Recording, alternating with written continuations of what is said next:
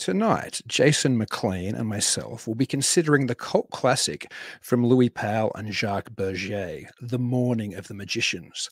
The book offers a heady blend of thought experiments and historical reimaginings, laced with tales of ancient civilizations and occult Nazi conspiracies, and it culminates in hints and predictions of a mystical future, one populated by advanced mutants that might already live among us, and where science is indistinguishable from magic.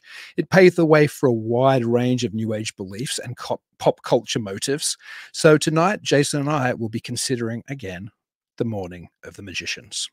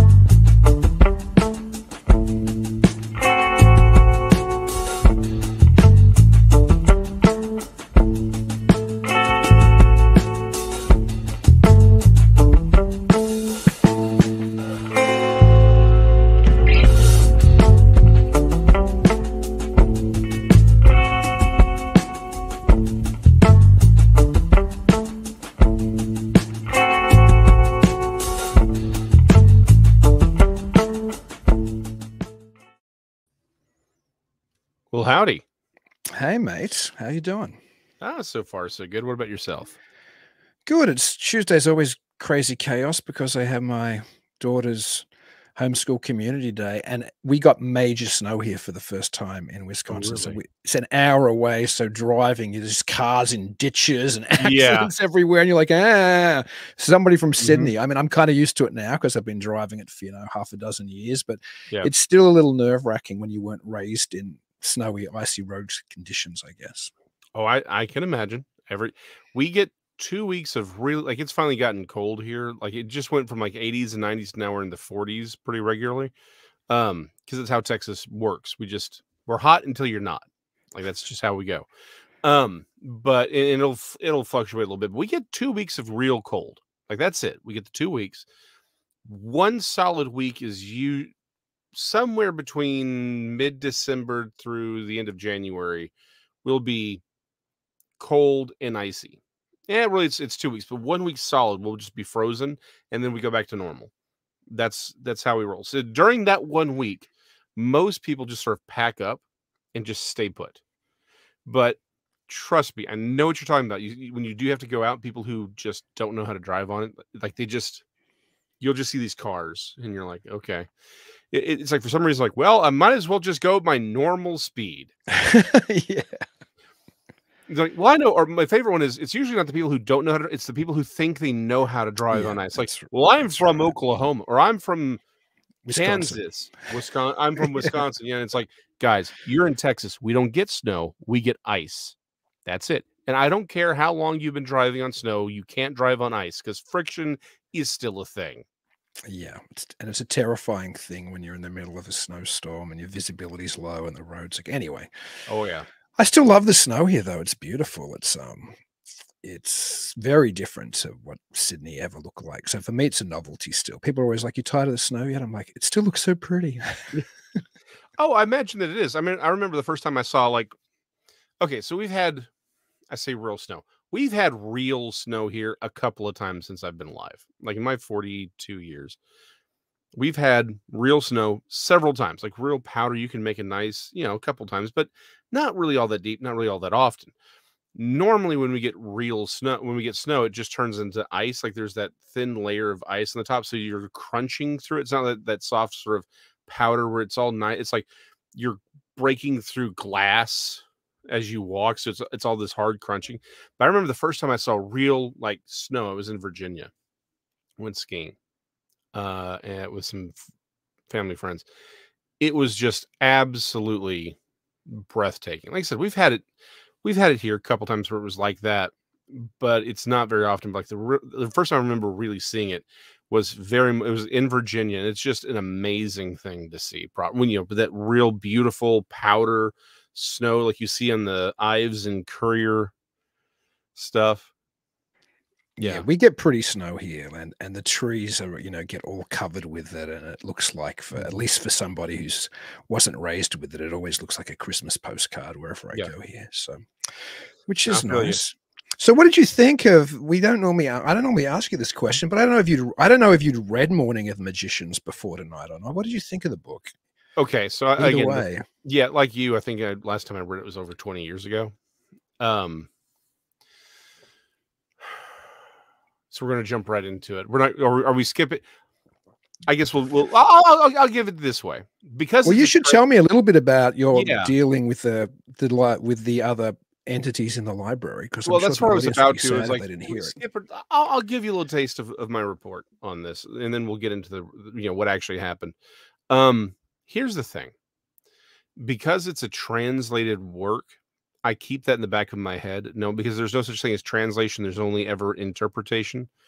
Um, and so I sort of it's like this, I'm not reading the prose that the author themselves the authors put into it. So I always try and keep that in my mind. Um, that being said, I think that I think the 20 19 20 year old me versus the 42 year old me, I think we had very different perspectives on the text. I'll say it that way. I think the thing that stood out is it's less the text and more how I'm now reading the text. Right. Um, so I think that's that's really uh, going to be a big crux of of my review is just I think there's I think the the younger me versus the older me has again, it's not the text that's changed, it's I that have changed. And where one side, you know, I'll be honest, I never really saw it as being again trying to be polite here. I think it was well written for what they were trying to do but again now i'm looking back on it and i'm like oh. Oh hold on. I get it. And i and, and the rest of that sentence is not going to be very pleasant but i'll save that for the rest of it. Um speaking of unpleasant will say this the uh the elves were un were they were not in the best of mood today. The uh the torture dungeon had not it's like they it's like they they hadn't cleaned for 2 weeks. And I'm like what's going on guys? Like I know it's a torture dungeon and all, but what's going on here? What what's with the dishevelment I see? I didn't realize that elves have like an earlier Thanksgiving, so they were all on vacation. And I'm like, oh, okay. So y'all take an early Thanksgiving. Okay, I guess that makes sense. Elves, different timelines, things like that. I get it. Time works different in the in the library. What bothered me wasn't even the dishevelment per se. It was the giant freaking spiders. Why do we have giant freaking spiders in the in the torture dungeon, Dean? Well, it's not really, you know, it's a, either above or below my pay grade. I'm just I'm just hired to pull the books and read them. So I don't know why. That's the, probably a question for the elves, really. They they said to talk to you about it. They said that oh, you did they? See, they said you ordered them. They're they're shirking their responsibilities. Mm-hmm. You know who probably does know about that though, to be honest. And we didn't talk about them last week, which was funny considering our topic is the actual the mm-hmm. Deros down. Oh there. yeah, the Deros do all the torturing. So I bet you they're the real culprits when it comes to yeah comes to I, giant spiders in the dungeons. I don't like talking to the Deros. No, I noticed not that with, last week. You were like, that, I'm not going to mention the Deros. Not with that nose, dude. The nose thing, it's prehensile, and I'm just it's so weird. It's so weird talking to them. Well, they're scary, that's for sure. They're crazy, but And I, I try to offer I always try to offer them peanuts. And like, we're not elephants. And I'm like, but you got the trunk, and they take it personally. And yeah, the next thing Yeah. you know, you're running from sadness. yeah, that whole area, the whole shaver area of the library, man. They've got Weird. great material in there, but the the the staff in that part are, are best to be avoided. Back to your point though about Morning of the Magicians, and before we go, or before you go to Unkind, I'm, which is kind of ironic because I'm so harsh on so many books. Yeah. There's all kinds of problems. Let me just begin by saying there's all kinds of problems with this book. Yeah. But I know what you mean when you said today, when you read it, it's probably different to the 20 year old you reading it. I know when I first read the book, I would have been in my 20s. I actually bought it for the first time. I had a Czech friend in Australia who'd already read it. He was a European. This book was far bigger in Europe than I think. Oh, it was in- absolutely. In the Yeah, West. and he knew it. He saw I bought. it. I, I hadn't even read. it. I bought. Oh, you got Mhm. Morning of the Magicians. You got to lend it to me. So I Mhm. lent it to him. The guy literally kept it for about a year, and then I finally got it. He'd already. He was already such a fan of it. He Yeah. wanted to read it again. But when you, I know when you read it, particularly before you've maybe read an awful lot of similar material. It does feel, and particularly probably at that age, it does feel like you're you might be reading something that has some great secret in there. You might be reading mm-hmm. something which has come close to, I guess, cracking the cosmic egg. And there aren't many books that I've read either when I was younger and was much more of a believer, or today when I'm obviously far more jaded. There aren't many books that still have that tone. Yeah. Now, that Yeah. said, there's all, there's all kinds of historical problems and things have been, you know, Oh, yeah. reassessed since. And but just reading the book, if you Right. take it outside of any mm-hmm. context, which we can never do, I mean, that's what we do at, at Mysterious Right. Libraries, we put it into context.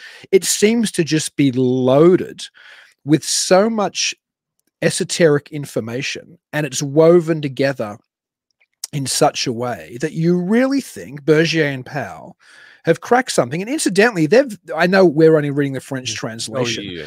But if you compare the writing even in the translation to say Mhm. Eric von Daniken, who they clearly influenced, this book came out about 10 Oh, years yeah. before and was a major book in Europe. There's no doubt von Daniken would have read Oh, he this. had to have. Yeah. And well, it's loaded with everything Von Daniken talks about, everything from Yeah. you know who built the pyramids to Easter Island to the Piri Reis maps to the Aztec, not the yeah, well to the Aztecs and the Yeah. Mayans to um to the Nazca Plain, like al- almost all of Von Daniken. Not I'm exaggerating, but an awful lot of Von Daniken's main evidence had been talked Mhm. about by Bergier and Pauwels 10 years before, suggesting that all of these things pointed Mhm. to an ancient civilization that might be extraterrestrial. They dropped that a number of times. They might be Yeah. people from elsewhere. So, but when you Mhm. read it, it's not like just reading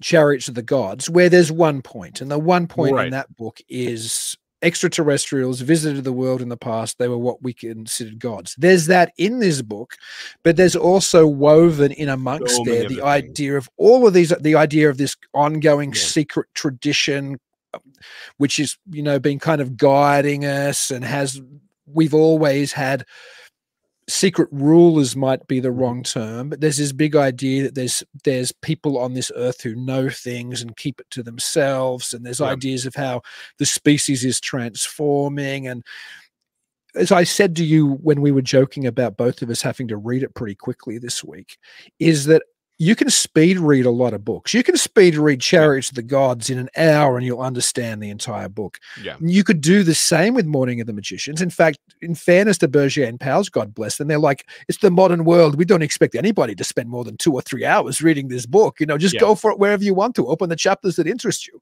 But at the same time, if you do, if you do that, you you could miss. You could miss a whole section. You could miss a whole section on Charles Fort. You could miss a whole section on on Arthur Machen. You could miss a whole section on Nazi occultism. You could miss a whole section on ancient civilizations. You could miss a whole section on this mutants living amongst us who'll be the rulers of the future. Like there's so many ideas in there. Right. If you do a real skip, you're going to miss things. There's a lot of data in this book. Yeah. Oh no, there absolutely is. And let me go ahead. There's because like like I said, I was going. I'm going to. As I smack my microphone around like I'm surprised it's there. Um, like I'm gonna be a little harsh on this one. And I know this is sort of a reverse for for us because normally I'm I'm the one be like, put it in context. Let's look at it. And you're the one who's always like, it's horrible. It's, yeah, the they're mad. They're crazy like- people writing this book. But no, you're like, let me get irreversible. cleaver and hack this thing apart. And I'm like, dude, it's just a paperback. You know, we got to return it. But there, there's one quote I want to be upfront because there is one quote in the book that for me is something of a saving grace because I've got a huge problem with the book. There's one massive problem I have with the book, but this tempers that problem.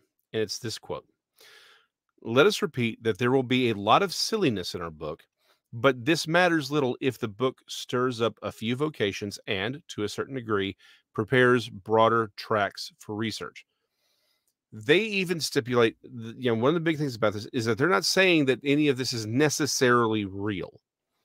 It is a novel. It's sort of that it's in this weird gray area, like where amazing stories is like, this is real, but you look at it, like, okay, this is, mm, there's a lot more story going on here than than reality. This one's sort of like, yeah, they're like, we're not really trying to tell you something real per se. There's realities here. We want you to break outside of the mold that you are currently in, rethink these things, and then and allow for there to be a broader conversation. And in that, I think it tempers a lot of my critique of the book because I do have one ma- massive problem with it. But at the same time, I kind of have to look at my problem and say, but they're kind of saying that's not what this book is about. Right. Uh, as an academic, you understand bibliography, citing your sources. I'm one, I love data. Like you said, I love data. I like being able to say, okay, what are we looking at here? Right. Because people say things like, well, numbers don't lie. Yeah, they do.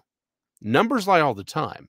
That's why you got to look at where are these numbers coming from? How are they collate? How are they, you know, how are they correlated? How are they how are they gathered?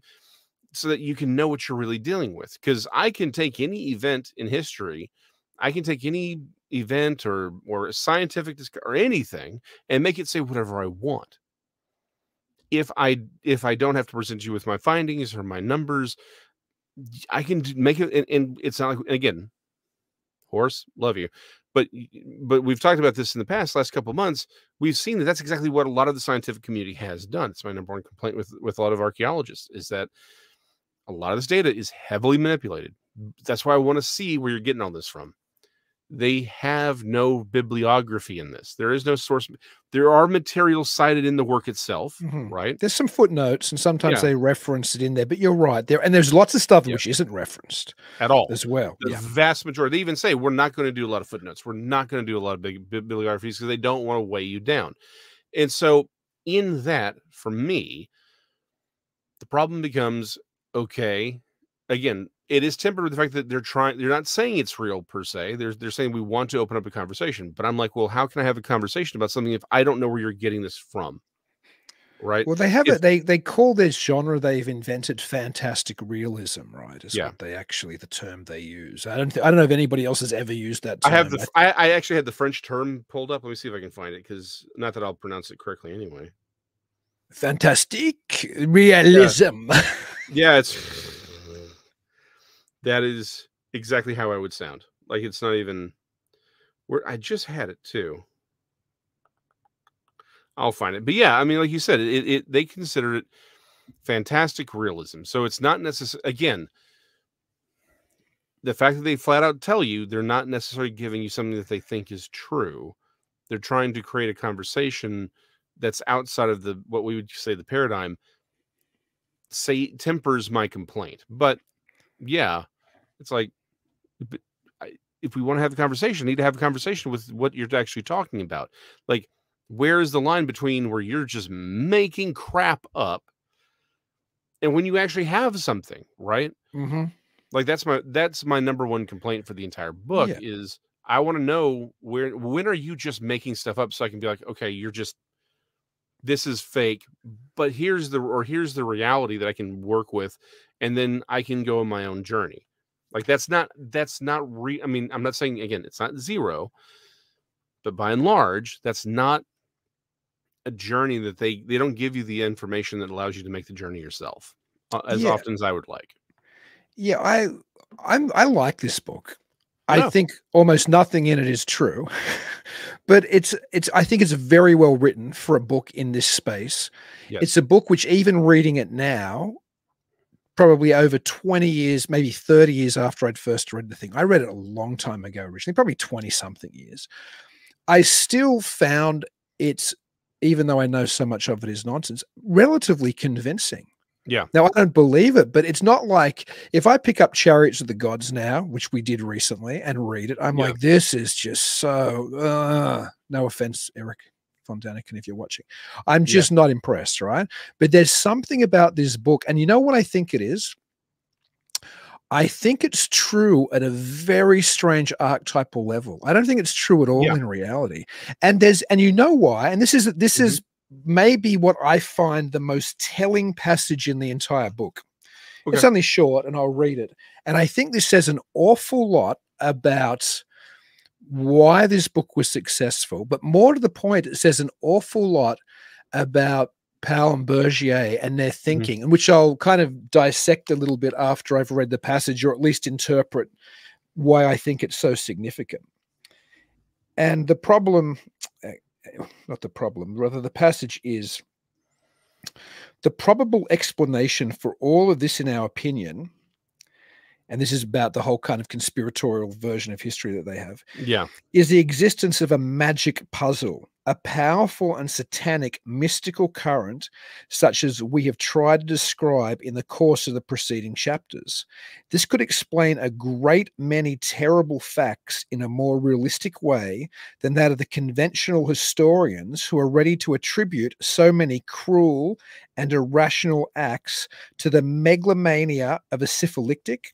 The sadism of a handful of nevro- Mhm. nevropaths and the servile obedience of a pack of cowards.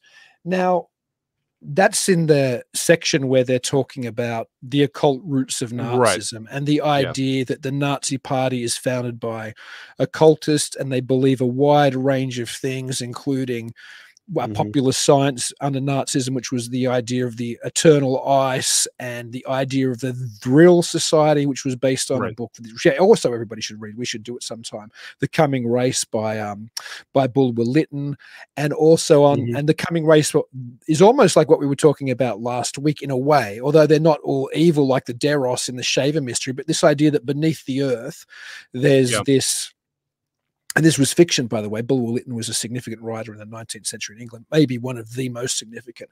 And that there was this race beneath the earth that um, had all these powers, and they were going to one day come to the surface, maybe, and you know, take things Mhm. over. And that is very much, in some ways, like the Deros idea in Shaver. The idea of these subterranean worlds are quite potent. So there was the Vril Society in in pre World War II Germany, which was supposedly significant on Hitlerian or, or Nazi thinking.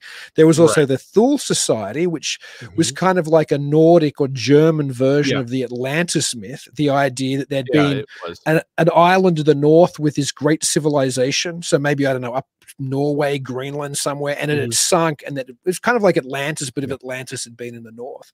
And their point is that all these Nazi ideas are predicated on these weird occult ideas and their sense of the the Uber the um the Übermensch, right, or the Superman is based on an actual, genuine, esoteric, secret kind of race or advanced people, just like the Theosophists under Madame Blavatsky believed in. That there were these adepts uh, Yeah. on the planet who kind of Mhm. guided guided our reality. But why I think this was so significant for Bergier and Pauwels, not not to mention that Pauwels had come Mhm. from this kind of background anyway. He'd been a, a student of the kind of Gurdjieff system of, you know, trying to reach enlightenment, which is related to theosophy. So he'd already been stepped in some of Yeah. this kind of occultism.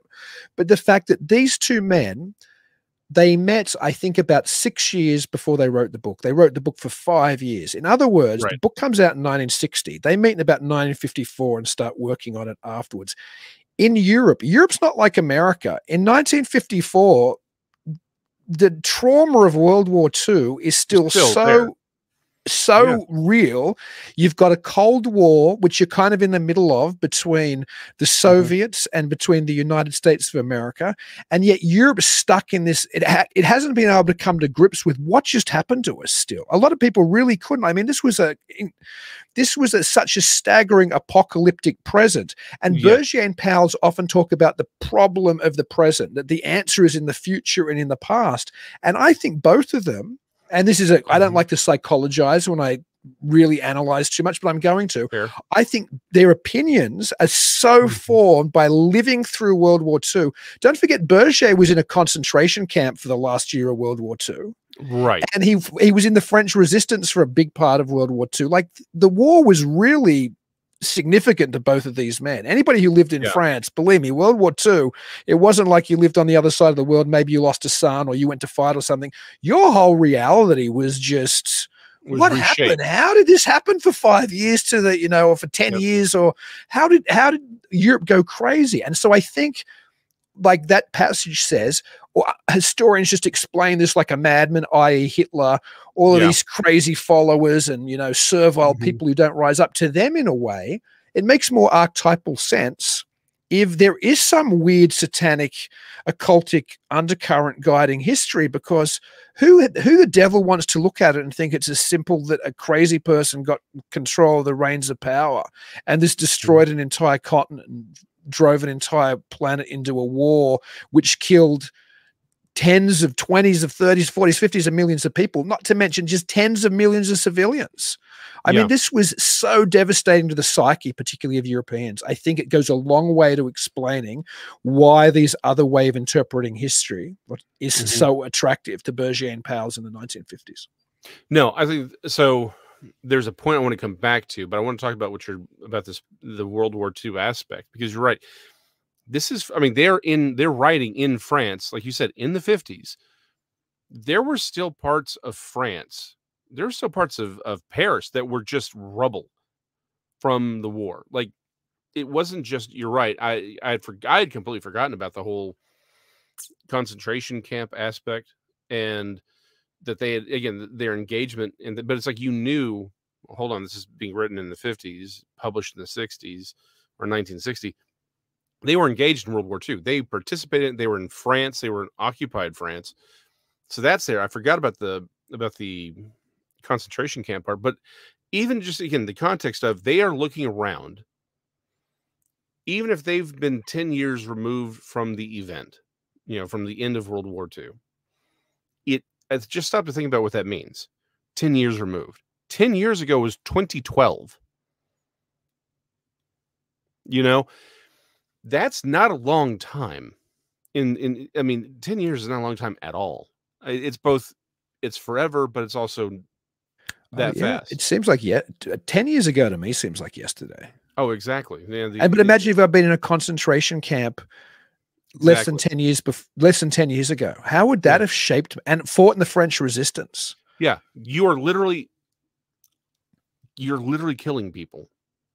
You're you're out there. You are killing. pe- uh, This is one of those things, and just from a, a slight deviation from this particular text, for the moment, this is something a lot of people don't get about the culture that emerges post World War II. Right, the that the men who fought in that war came home. They this is why you didn't see a lot of ultra violence and stuff for decades because they saw it. They knew what that was. Uh, there was a story uh, of a, a guy who came home and he was uh, with his father, um, and or he was telling the story to his son about why he didn't hunt because he grew up hunting. Right, he was you know farm boy. You hunt all the time. It was a big thing for them, and um, it was after the war. He'd finally come home. They finally, you know, decided to go hunting, and he goes out and he shoots a deer. Uh, no, it was a rabbit. That's what it was. It was just a simple rabbit, right? It was they're just varmint hunting. And he said that he looked at it, and he never shot again. He never shot another animal because he couldn't take it. It was just for him that was one more life. Even though he's like, I know, he's like, he didn't become a vegan or anything like that. It just, he's like, just the thought of blood on his hands one more time was just too much there is a reason why the culture post World War II, you see things like musicals. You see a lot of these things because these were people who saw real, I mean, some of the worst things humanity's ever done. So in Bergier, and then again, going back to the text, when they're writing this book, it's not just that, that you know they're only 10 years removed from that. They literally cannot look around where they live and not see evidence in the scars that war because it they were still fixing things in France, particularly in into the 80s and 90s. There were still buildings in the 80s and 90s that had been bombed out from World War II that had not been repaired. So they hadn't been torn down and rebuilt that's how like we as Americans do not understand that context. So to your point, I think this is the broader point. Why is the why does the book seem so true on an archetypal level? And it spends, don't forget, go. the whole middle of the book's essentially about yeah. Nazism and about the occult oh, exactly. roots of Nazism and trying to explain. It's almost mm-hmm. like it's this has to be more than just a nut job got control of the reins of power and had some sycophants mm-hmm. who followed him in. There has to be a bigger meaning to this. Yeah. You can see them working through it, you know. Right. And it's and that's completely again, this is one of those points where I temper my complaint because to your point, I would understand that. And here's the thing I agree with that. Going back to this, because I think the rest of my commentary is really going to be in the archetypal nature of it, of the book itself. if, you know, there's a higher truth to it, even if it's not necessarily the truth that's presented there. And I think this is what the, the core of the archetypal truth that we're going to talk about is that I do agree with this. I don't agree with their conclusions per se. I think there's some bad, there's some faulty logic, there's some faulty evidence, but at the core saying, look, this isn't just some random nut job. There is something more here. There's something deeper, darker, more powerful behind him. I I completely agree with him in that because he's right. There was more going on during World War II. I would argue there's more going all throughout human history. I would disagree with the conclusion, but not the thesis. Yeah, to the point of more going on throughout history. That's probably the number one. It's probably the number one theme of the book. The number one yeah. through or through line of the book mm-hmm. is that, and they pull up lots of examples. They pull up things like the Rosicrucian poster flap yeah. in in 1600s in France, where mm-hmm. supposedly mm-hmm. the secret society of the Rosicrucians posted posters mm-hmm. everywhere saying, you know, we're this secret group living among you. They go through popular alchemical books of the day, like um, Fulcanelli's. What's yeah. it called? The the mystery of the cathedrals, and supposedly Bergier met Fulcanelli, who was it was kind of his alias, this very famous occult alchemical writer. The idea that hidden in the actual architecture of cathedrals there is the messages of yeah. alchemy and the idea that in the all throughout history so they talk about the gupta empire of ancient india it's funny because we mm. we study that in my daughter's homeschooling only recently that oh, the emperor i think his name was akosha who was the really peaceful emperor yeah. kind yeah. of had this group of the secret nine men who had who were the ones left with the knowledge and the control of warlike technology and all of these things so it couldn't infect indian culture and then so we've got the the alchemists hidden we've mm-hmm. got the Gupta dynasty people hidden. We've got the Rosicrucians hidden. And then they just go through thing after thing after yeah. thing, including the Nazis secret masters, including the theosophical ideas, including the stuff Arthur Machen wrote about, including the ideas of H.P. Lovecraft. So they list, and it goes on and on and on. But throughout the book, there's this idea that there are people who are essentially ongoing secret societies that have informed culture. Yeah. And they're clever in the way that they discuss it because they're like, well, in the olden days, there were guilds, and you could only understand the language of that trade if you were a member of that trade. So the guild could have its own secret kind of language. Mm-hmm. And they kind of come forward to the science, or they go through alchemy as well, which has its own kind yeah. of language. And then they come up to scientists today and they go like if there are two nuclear physicists or high-end mathemat- mathematicians talking you can't understand what they're talking about if you're not part of the club. And mm. more to the point, people at that level of intelligence want to seek out other people who are of that same level of intelligence yeah. to converse with. So you're going to get these secret conspiracies by default, which to me is that's probably the most fascinating idea in the book that yes. people are mm-hmm. drawn to each other who are of this kind of level. And then it goes all the way through, of course, by the end where he's talking about there might already be mutants living amongst us who have their own, you know, secrets, which by the way probably mm-hmm. led to Marvel's X-Men. So we were talking yeah. about Kirby's influence on the MCU last week it's quite possible Bergier and Pauwels' yeah. influence had a big influence on the foundation of the X Men. But the point is, anyway, that this uh, this kind of through line that there's these people who are somehow more intellectually gifted or they're more in touch with the truth and as a result they mm-hmm. almost have to come together to have their right. own thing going on and plus they they as good as say you don't want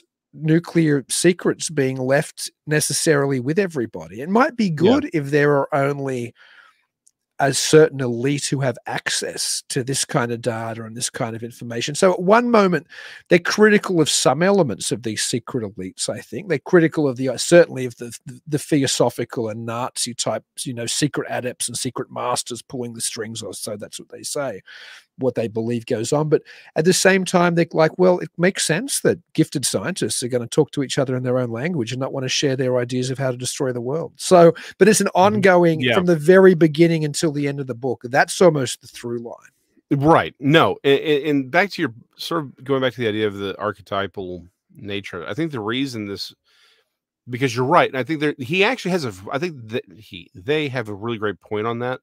And for me, I think one of the reasons, again, going back to this ar- archetypal truth within the book as a through line as well, is again why the 20 year old me looked at it one way, whereas the 42 year old me is looking at it differently.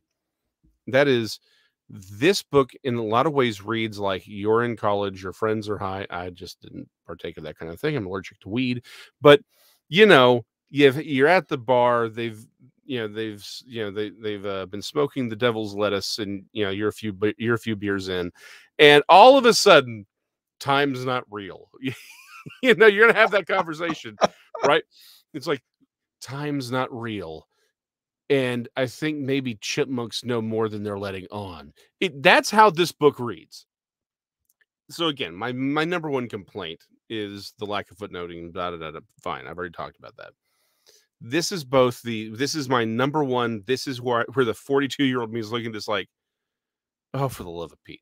It just it feels like it's that you're in college, it's 2 a.m. Your friend had the munchies, and that's why you're you're at the you're at the bar.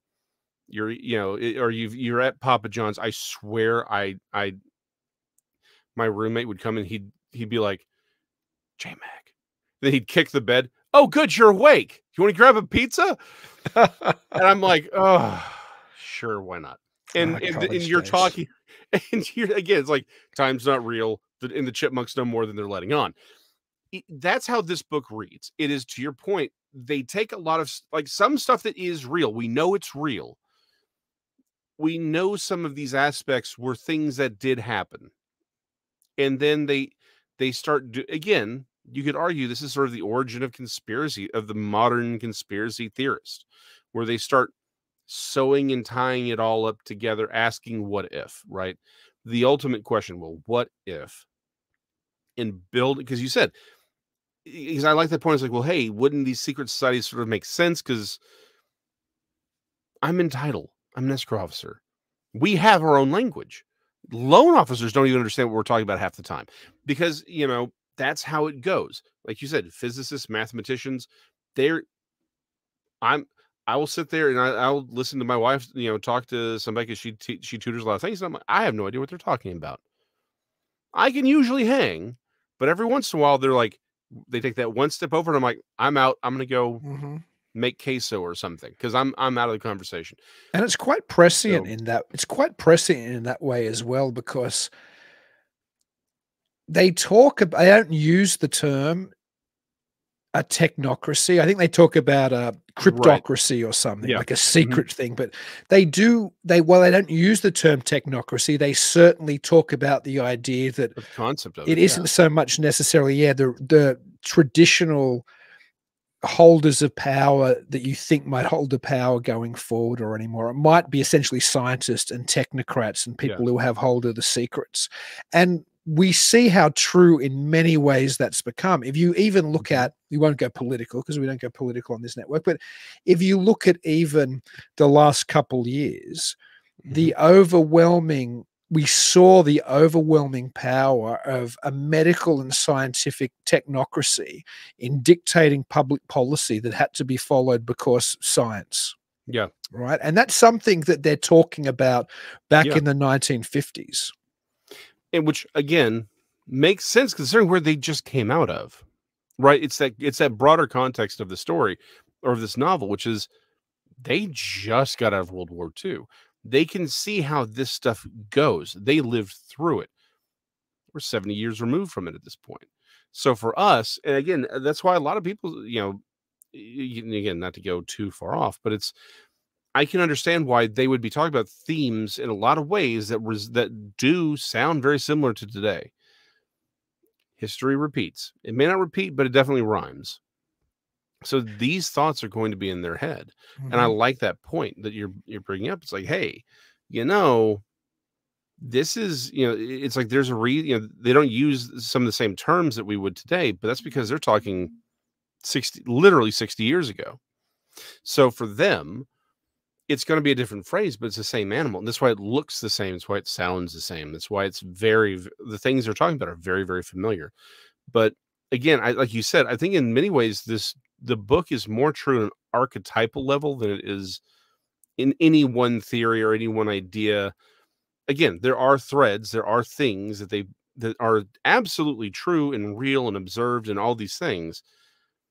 And then there's the rest of it but it's it's the act of weaving these things together that I think we as um, that's very familiar to us in many ways looks very much like something that we see happening today, right? You, the you know in many ways they are the Alex Jones of 60 years ago. Mm-hmm. They just weren't selling vitamins at the time.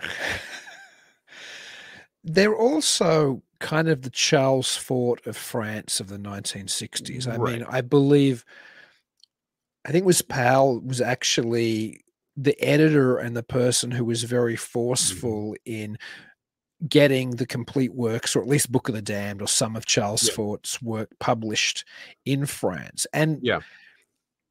In not only is there a big chunk in that which is takes big passages from Fort and talks about mm-hmm. Fort's ideas. And so clearly Charles Fort's a major influence yeah. on this book, but in a way, in some ways, stylistically, it's a little bit like Fort as well. In other words, there's mm-hmm. all of this kind of data thrown at you. There's all these kind of ideas. Now, Fort kind of just throws out a lot of different theories and he has his you know yeah. his tongue in his cheek half of the time but there doesn't mm-hmm. seem to be as much tongue in cheek in Bergier and Pauwels' but at the same time as you said before, they do say, listen, that people are going to laugh at us, I'm sure, in the future and say they got this wrong, they got that wrong, kind of like we are now.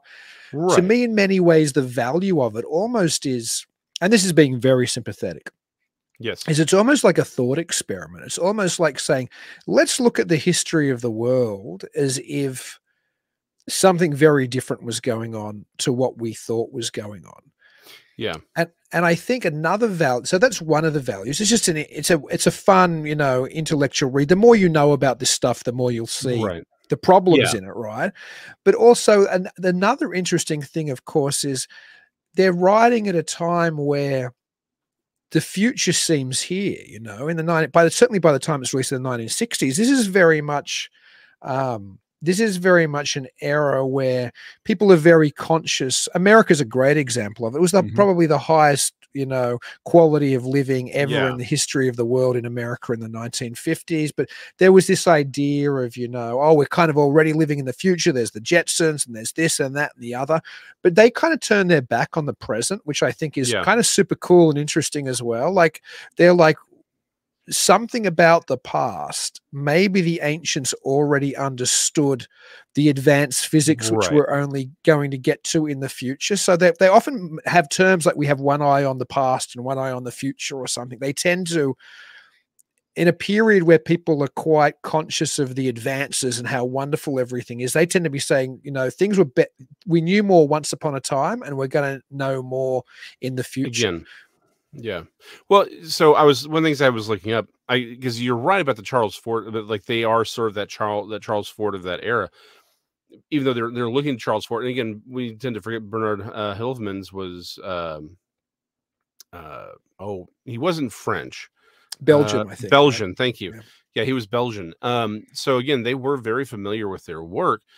And I was, I was, there was a magazine that uh, they went to work for after they wrote the book that I was going to point. out, It's like this is exactly because they're on that sort of. I think they line. ran that magazine, that occulty Yeah. kind of paranormal. yeah, they did. That's what I'm saying. Like after they were done with this book, they went on to create. essen- Essentially, it was like the French version of Fate magazine, is what we would think of. Um, but something you were just talking about, and I, that's why I was double checking something. Was this we we tend to forget this island Earth was pub was uh debuted in 1955. So by the same time they're they're meeting and they're starting to talk about and work on this book, you know, this island Earth is coming out, and it, it's one of those things where it, I know it sounds like you know that doesn't sound all that connected, but it's the it goes back to the idea that what you were talking about of the uh, again that broader context of their of the what are they think what are the what is the culture thinking about? Right like you said the ignoring of the present. They're like we feel they feel like they're in the future. It's the they literally called it the push button era right? Like you could push a button something would happen. And again it's easy we should talk about the world war ii aspect but that also means for most of them growing up a lot they probably didn't have a lot of access to electric lights yet.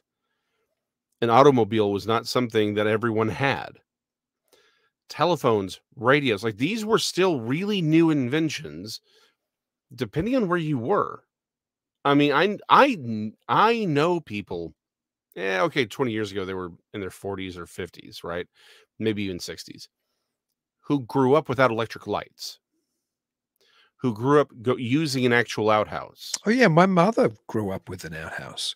Mhm. She still tells the story about her and her sister would go together because they'd be scared at night and they'd have a light there and you know they'd want to stay in the light because it was so dark. So to think, yeah, my parents' generation they still didn't have internal Yeah. sewerage plumbing. You know, Yeah, or or they didn't have again electric lights. Like they used actual kerosene lamps. Like yeah, for the, I mean, you just have to realize for a lot of people growing up, they weren't they, like they knew things like radios and movies and things existed, but they didn't have the kind of contact with it that they would have a few decades later, post World War II.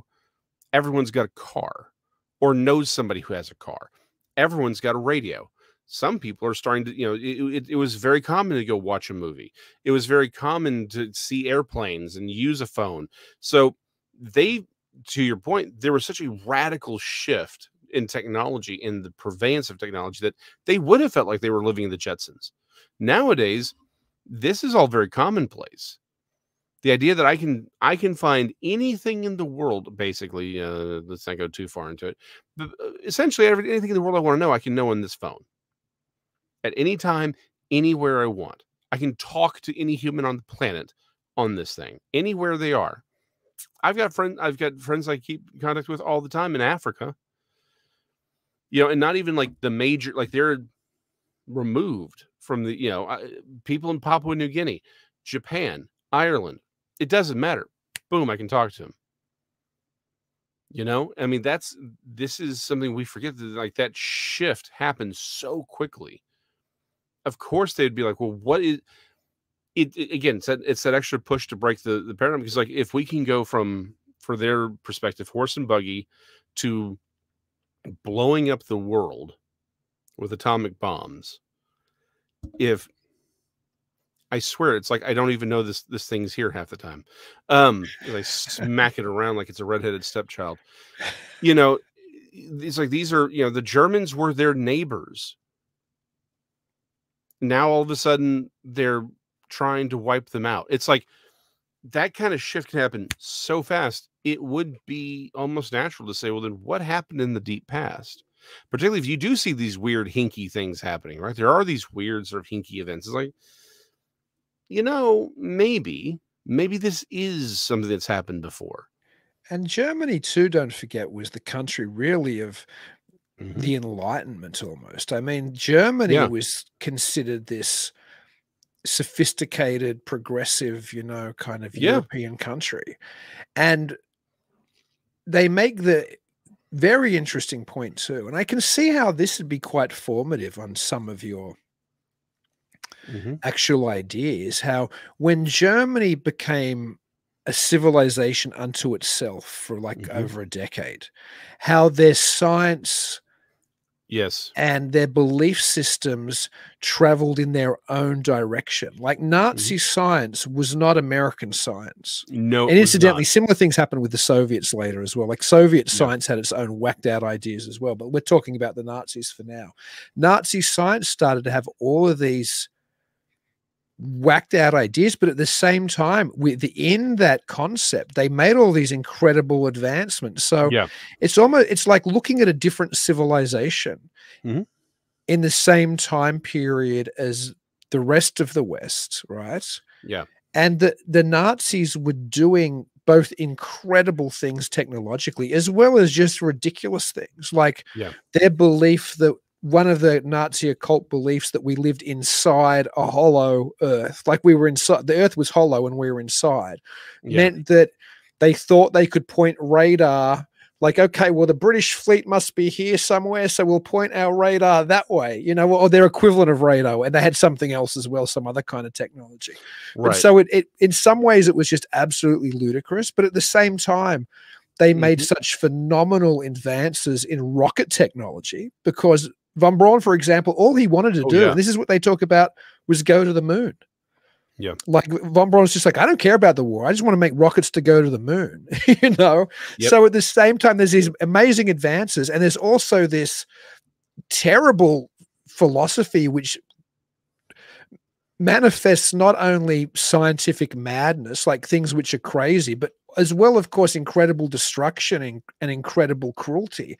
So, how do you, in a, it's it's hard to think now, even though there are plenty of horrible regimes on the planet, but it's hard to think of a regime coexisting with us that has an entirely different scientific outlook on the world right. Well, in, like, in so like many- China might be China might be evil or whatever, but it doesn't have a different science to what we do. It doesn't understand where we are in the cosmos or how the world's built or you know what it doesn't have those kind of sciences. The Nazis had different sciences, and I think that's something that's something else which actually is pretty interesting in the Bergian Power. Right. No, they and- point and- that out so much. That's a great point. Like it, like you said, it's it's they're essentially a completely different society. But that weird ten years where they're locked up with themselves, essentially, running through everything, it really is weird. And and I can see them saying there need there must be something more going on here because look at what they did so quickly. And look at what they said that they did, how they said they did. They did say that they talked to things, that they were communicating with things. Uh, I was looking up something else entirely, and you, you know, sort of referencing, and they, they it was it was the spy museum. That's what it was. The spy museum here in the U.S. They talked about, hey, this sounds crazy, but they had people who were essentially i mean, they they claimed it was it was something more to it than just psychic ability, but essentially they had psychics looking for submarines and planning raids, and it worked. Didn't work all the time, but it worked well enough for them to be used militarily. This, you know, these people advanced. Like, again, Germany was always sort of on the forefront of technology, but what they did between World War One and World War Two is shocking. Anyone who's looked at what they did, and though, like you said, in this, it is nuts what they did in this short a time. Uh, we still we see this all the time. It's like, it's like it's we we're sort of because we know it happened, we aren't as shocked by it. But think about every science fiction novel that has some human meeting an alien. There's always this theme of the alien saying, "Wait, they went from here, from caveman, or they went from the Iron Age to having space flight. How fast?" Right? It's like what y'all did in a century, which took us a thousand years. there is this constant theme of how did they advance so quickly? And this is where it came from. What Germany was able to pull off in that short amount of time, guys, if there's anything you can take away from this, is just understand there for for these people to again being you know just a few you know 10 years removed from world war ii seeing that rapid development of technology for them to say the nazis did this that fast that's insane because it wasn't just they did it they did it they militarized it and they mechanized it. That those are three very different steps each one taking time. That means their science was advancing way faster than it should have so for them to look at the at the Nazi cultists and say there has to be something going on here because it's something that's real, not a theory, not just some sort of again, not the 2 a.m. you know munchies kind of conver- college conversation, but they're like there is something here, and the and the people who did it said it's because of the occult. You know they they're like it's these weird theories, this weird view of reality that allowed them to do it if I was in their position, I think I'd take that really seriously. And again, this is why I think my sympathy for the book is I do kind of agree with them on a lot of stuff, not necessarily the specifics of their conclusion, but this idea that there's more going on to these events. There's more behind this. This isn't just what you're seeing. I agree with that. Again, I disagree with the conclusion, but I agree with that concept. And I think if we're all being honest with ourselves, yeah, we have to agree with with a lot of what's working on here, which is why it seems why the book seems so archetypically true, if not true in in in the granular, you know, actual facts of the book.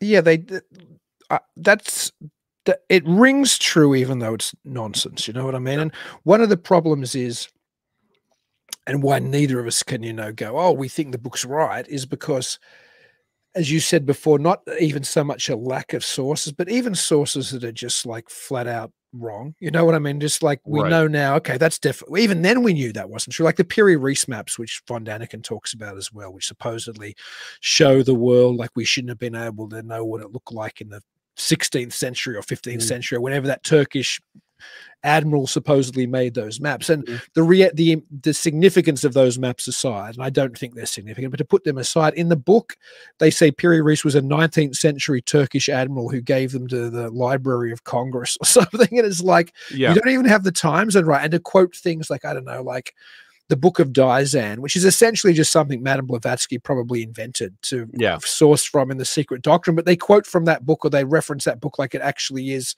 a separate book to Blavatsky's writing. So they don't seem to, A, they don't understand some of their sources, and B, they take sources that they probably shouldn't take literally, literally. And then see some of the stuff we don't even know where they're sourcing it from. So right. there's the all of those majority. problems. Yeah, the vast majority, because even some of the stuff with like the Vril Society and the mm-hmm. uh the Golden Dawn stuff.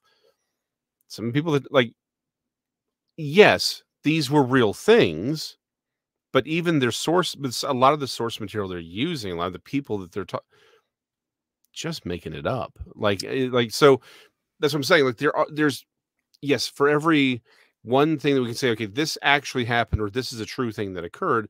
We then have their conclusions after that. That's a different thing. But the vast majority of the book, like you said, the stuff that we can track down is just so much of it is just wrong or very misconstrued.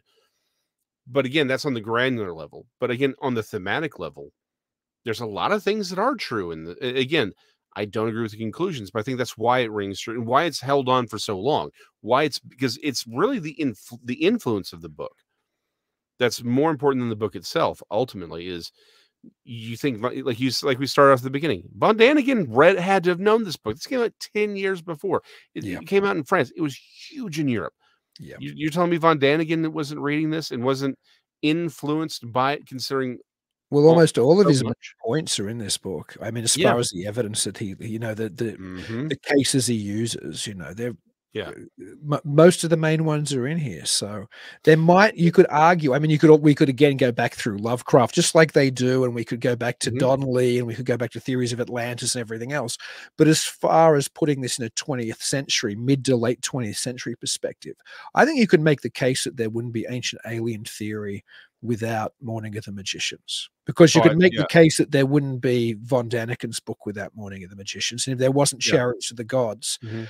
would it just have appeared in like amazing stories and in Yeah. George Adamski books? It, it took that best selling Chariots of the Gods, which pretty much cribbed from an already European best selling Morning of the Magicians, to get us Yep. to watching Mhm. Ancient Aliens on what channel is it on? History or whatever. The it's on, history, right? yes. Uh, which remind actually keep this just some again like this island Earth was 1955. When was the Quatermass? Well, it's in, it's Uh, English and it start it go. I think the Quatermass movies go for you know they Yeah, range out for over a decade. So there's yeah, there's the Quatermass experiment, and then there's Yeah. the other, and then there's Quatermass in the pit, and yada yada yada yada. Yeah, yeah, yeah. Quatermass uh, two was 1957. So to your point, is like would this have would ancient again would ancient astronaut theory be as big as it is today if there wasn't a Von Daniken? Would there have been a Von Daniken if there wasn't a Morning of the Magicians? I think the answer is it would have taken different. It, I think these these ideas would still be here. It just would have taken a very different form. I think Yeah, I maybe there are don't think it themes would- that would I- be different. Yeah, I don't think it. I think it took Chariots of the Gods for some Mhm. reason. That movie, that book, just broke along with the movie shortly thereafter, and had this incredible cultural Yeah, prevalence. I do. Uh, I think UFO believers would still have ancient astronaut theory in their belief system because it was there, as we were talked about last week, from Yeah. you know from amazing stories and before. But without Chariots of the Gods, I can't. um, I mean, that was the book that launched it for all intents and purposes Right. to the mainstream. And I don't think without Morning of the Magicians, I don't think there would be a Chariots of the Gods. Well, no, and I agree with that. That's uh, yeah, I completely agree that without Morning of the Magicians, we don't get Chariots of the Gods. I don't think the theory goes away though. I think that I just No. think it would take. I do think it would take a very different form though. I think there would be very different themes because again, uh, because Von Daniken's work is so connected to this, you know, to the to uh, to their material with Morning of the Magicians, and some of the themes, some of the ideas. I think it just takes a very different form. But I, again, I think uh, I think a lot of the conversations we have today about Nazi occultism and government conspiracies. That's all because of this. All the popularity of Nazi occultism is because of Morning of the Magicians. This is where that Yeah. whole Nazi occultism popular idea comes from as well. That's a very good point. Mhm. When people start talking about, you know, Nazi flying saucers and the Yes. Society and you know, the Die Glocke. all- Yeah, yeah, exactly. All of that stuff Mhm. is because of the Morning of the Magicians. That's what tr- that's Yep. what pushed the button originally to say that the Mhm. Nazis aren't just a political kind of you know national socialistic fascist movement. yeah, Beneath that There's is a much more important occult underpinnings, and that comes straight from Bergier and Pauwels. Oh, absolutely. And that's so yeah, that's why so I agree with you. We don't get Von Daniken. We don't get I think that this the conversation we're having today becomes looks very, very different. But I do think that the ideas would still be there because they were there before them.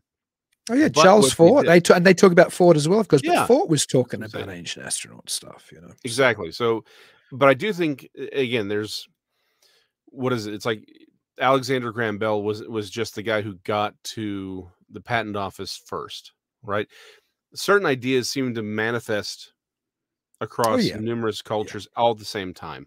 Um, so Well, any, everybody into UFOs before Eric von Daniken wrote Chariots of the Gods, like up and so, Mhm. so up to already by '67, anybody who was regularly reading Fate magazine or Yeah. reading books by I don't know Harold Wilkins or Desmond Leslie or any of the various UFO contactees and a lot of even more mainstream UFO writers already understood ancient astronaut theory. It just wasn't called that yet, but it Yeah. wasn't. It just hadn't made the cultural impact outside of UFO belief. So I think it would have stayed in UFO belief. I absolutely agree with that, regardless Mhm. of Morning of the Magicians and regardless of Chariots of the Gods. But I don't think it took Chariots of the Gods to get it on the bookshelf of almost every house in the suburbs in the 1970s. And it took Yep. Morning of the Magicians in Europe to push Von Daniken's button to make him go after that story. Yeah, I know, and that I completely agree with. I think we com- yeah, I think we're on the same page with that, and I I do agree. I think without this book, this the landscape looks very very different. Now, how different would it be? I don't know, but I but like you said, these are these are the books that popularize these ideas, that push these ideas to the forefront, that we're having, which allows us to have the conversation we're having today. So this was an amazingly influential book. Um, it's worth the read because again, it's a fun read. Um, it, it just 19, 20 year old you is going to read it very differently than 40, 50, 60 year old you is going to read it because and and it's fair because when you're younger, you you're not as you know, I was I've yes, I have been around this this stuff for a long time. So it's not like I wasn't aware of it, but at the same time, uh when you know you're still kind of new to a lot of these ideas and these concepts so it, it reads very very differently than you know once you've had them for 20 plus years you're like oh yeah. I'm not high enough to to believe this right now.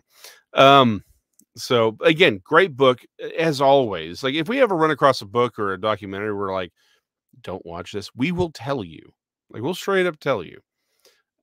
We may have already done that a few episodes ago. I'm not going to say which one, but um, yeah. I mean, this one is again, as always, for no other reason than just to sort of see, a you know, how this thing developed from a cultural position. This is a very important book, um, culturally, if not necessarily from a truth perspective or a fact perspective. Oh yeah, I, I totally concur with that.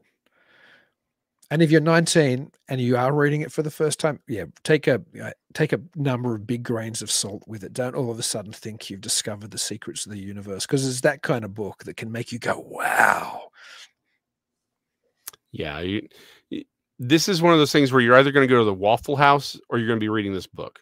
Like it, to like this is this is that time of your life. Like I said, that's you know, you're you're sitting here reading it and you're like, you're you're you're you're drunk. Maybe your friends are high, and you're like,